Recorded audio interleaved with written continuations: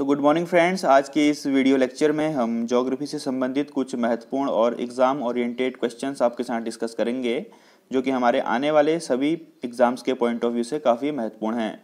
सभी क्वेश्चंस आपको हिंदी और इंग्लिश दोनों लैंग्वेज में अपियर होंगे और इनकी पीडीएफ के लिए आप हमारे टेलीग्राम ग्रुप को ज्वाइन कर सकते हैं, जिसका लिंक डिस्क्रिप्शन बॉक्स में दिया हुआ है। शुरू करते हैं आज का पहला प्रश्न। दोस्तों, आज का पहला प्रश्न है the forest which act as barriers against cyclones are तो वह वन जो चक्रवातों के अवरोधकों का कार्य करते हैं, उन्हें क्या कहा जाता है? तो दोस्तों मैंग्रोव फॉरेस्ट जो है वो चक्रवातों के अवरोधकों की तरह एक्ट करते हैं। दोस्तों मैंग्रोव फॉरेस्ट में जो पेड़ होते हैं, उनकी जड़ें जो होती है बहुत गहरी और फैली हुई होती हैं। तो जब साइक्लोन इनसे टकराता है, इन पेड़ पौधों से टकराता है तो साइक्लोन की स्पीड जो है वो स्लो हो जाती है। तो इसीलिए इनको कहा जाता है बैरियर अगेंस्ट साइक्लोन्स इसका राइट आंसर क्या हो जाएगा? मैंग्रोव फॉरेस्ट अगला प्रश्न है the longitudes of mainland of India extends between बहुत ही इंपॉर्टेंट क्वेश्चन है। भारत की मुख्य भूमि का देशांतर जो है, वो 68 डिग्री 7 पूर्व और 97 डिग्री 25 पूर्व के बीच में फैला हुआ है। तो option number A 68 degree 7 east and 97 degree 25 east is right answer तो इंडिया का लॉन्गिट्यूड आपको याद रखना है। अगला प्रश्न है as the river enters the plain it twist and turns forming large bends known as तो जब नदी जो है किसी पहाड़ी क्षेत्र से, मैदानी क्षेत्र में प्रवेश करती है तो यह मोड़दार मार्ग पर बहने लगती है। तो उस मोड़दार मार्ग को क्या कहा जाता है? उसे कहा जाता है दोस्तों मेंडर्स या फिर विसर्प। दोस्तों, जब रिवर जो है वो पहाड़ी क्षेत्र से मैदानी क्षेत्र में प्रवेश करती है तो वो विसर्पाकार क्षेत्र में बहने लगती है। उसे मेंडर्स कहा जाता है। ऑप्शन नंबर डी इसका राइट आंसर है। अगला प्रश्न है which one of the following is the deepest gorge in the world तो निम्नलिखित में से कौन सी दुनिया की सबसे गहरी महाखड्ड है? गॉर्ज मतलब होता है दोस्तों, तंग घाटी या फिर नैरो वैली जिसके बीच में कोई रिवर बहती है। ठीक? तो काली गंडकी गॉर्ज जो है, वह दुनिया की सबसे डीपेस्ट गॉर्ज है, जो कि नेपाल में प्रेजेंट है, और गॉर्ज दोस्तों, ये होती है।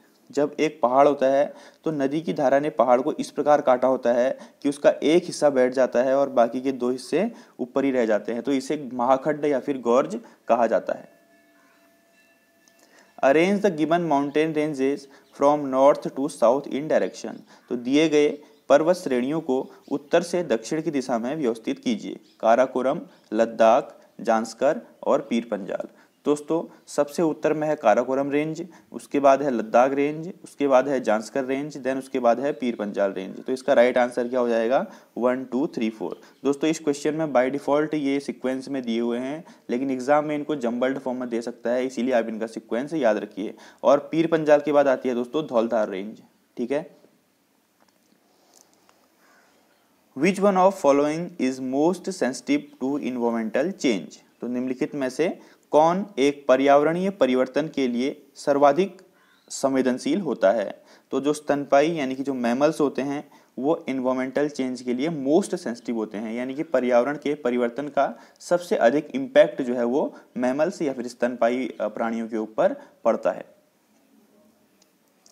अगला प्रश्न है दोस्तों evergreen type forest are found in तो सदाबहार किस्म के वन जो है, वो कहाँ पाए जाते हैं? तो मानसून क्लाइमेटिक एरिया, यानी कि मानसूनी जलवायु क्षेत्र में सदाबहार किस्म के जो फॉरेस्ट होते हैं, एवरग्रीन टाइप फॉरेस्ट पाए जाते हैं। So option number D, monsoon climatic area is right answer. In a solar और lunar eclipse the region of earth shadow is divided into बहुत ही इंपॉर्टेंट क्वेश्चन है। इसको ध्यान में रखिएगा। सूर्य या चंद्र ग्रहण में जो पृथ्वी की छाया होती है अर्थ की सैडो होती है, वह कितने भाग में विभाजित हो जाती है? तो चंद्र ग्रहण या फिर सूर्य ग्रहण में अर्थ की सैडो जो है दोस्तों, वह तीन भाग में विभाजित हो जाती है। इन तीन भागों का नाम है अम्ब्रा ठीक है? अम्ब्रा पेनम्ब्रा और एंटम्ब्रा। जो अम्ब्रा होता है, वो इनरमोस्ट और डार्केस्ट पार्ट होता है। जो पेनम्ब्रा होता है दोस्तों ओनली अ पोर्शन जो आउटर पार्ट होता है उसका, ठीक है? जो कि ब्लॉक होता है आउटर पार्ट को हम पेनम्ब्रा बोलते हैं। और अम्ब्रा के पीछे का जो लाइट शेडो पार्ट होता है, उसको एंटम्ब्रा कहा जाता है। तो इसका राइट आंसर क्या हो जाएगा? Three parts the Patkai hills belongs to which mountain ranges. तो पटकाई की पहाड़ियाँ किन पर्वत श्रृंखलाओं से संबंधित हैं?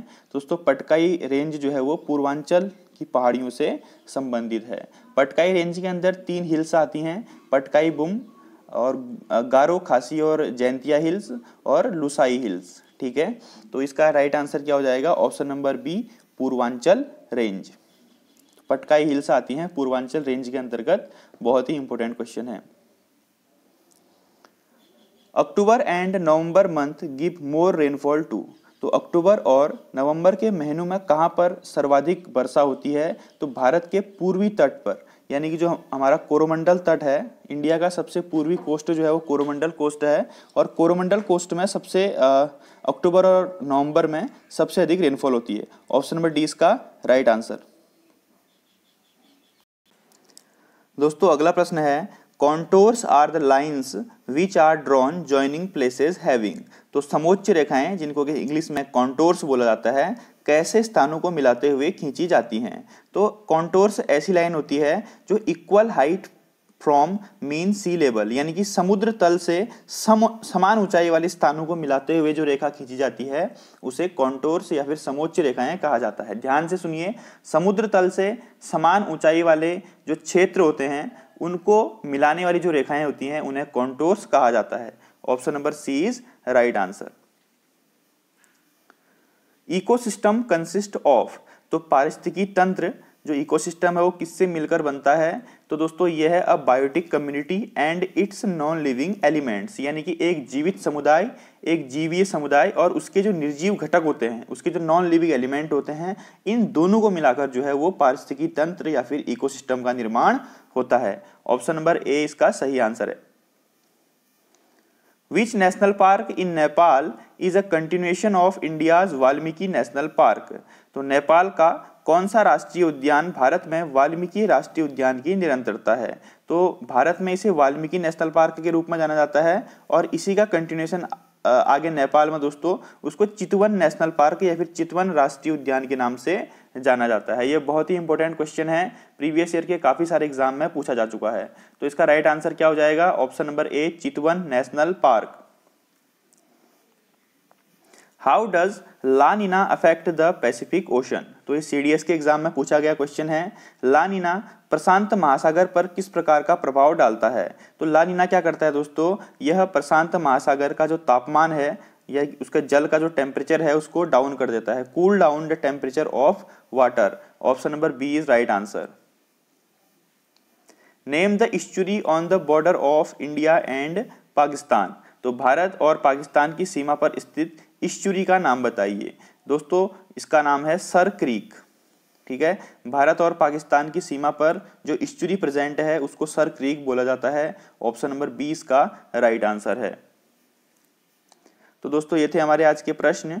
अगर आपको वीडियो अच्छी लगती है तो काइंडली हमारे चैनल को सब्सक्राइब कर दीजिए और वीडियोस को अधिक से अधिक शेयर कर दीजिए ताकि ये अधिक से अधिक लोगों के पास पहुँचे और सबको इसका फ़ायदा हो। और दोस्तों, जितने भी लोग वीडियो को देख रहे हो प्लीज़ वीडियो को लाइक कर देना। आपका लाइक हमें मोटिवेशन देता है। थैंक यू जय हिंद, जय Bharat. Have a good day